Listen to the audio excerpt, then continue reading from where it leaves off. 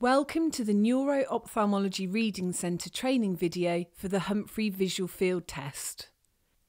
This video is part of the Neuro Ophthalmology Reading Centre training suite and should be used alongside the Standard of Procedures documents and clinical research forms for your study.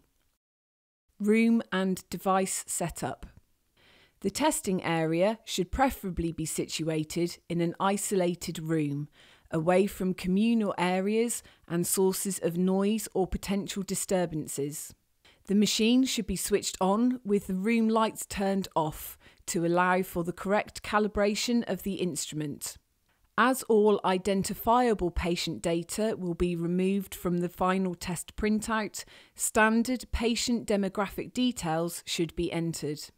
If the patient wears glasses to correct their distance vision, the lens prescription should be determined using automated lens focimetry and entered into the field analyzer. The required additional amount of spherical power will be automatically applied. The parameters for visual field testing are study specific. Therefore, any deviations from the default settings should be noted and changed accordingly. In this example, we are using the 24-2 SITA standard protocol. For the exact details of the testing parameters required for your study, please refer to the study protocol. Patient setup. Getting the best possible result from any patient performing a visual field test goes far beyond reading them a set of instructions. Here, we have provided a list of things to consider and communicate that help orientate and inform the patient in order to improve their overall performance. Introduce yourself and explain what you do. It's a simple thing, but it helps put the patient at ease. Explain why the test is being done. It's helpful for a patient to understand the reason behind the test and what information is being gathered and assessed. Explain what you are doing as you are doing it. If you are going to measure the patient's glasses or turn off the lights, for example, communicate when and why you are doing this. Address misconceptions. Patients who have undergone testing in the past without being given a good explanation will often form their own conclusions as to how or why the test is done. Is the patient comfortable? Ask. Being sat in the required position for this test is not a natural posture, so it's vital to check rather than assume that the patient feels comfortable. Removing test anxiety. Patients often feel under pressure because the nature of performing a test is automatically associated with passing or failing.